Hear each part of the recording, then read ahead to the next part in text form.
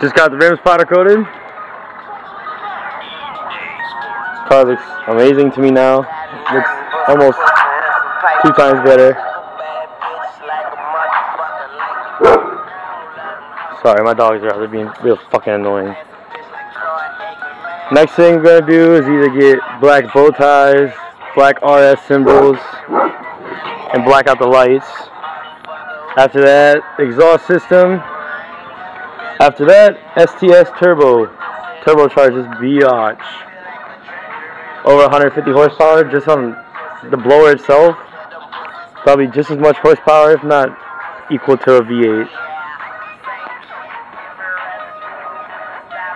Thanks for watching.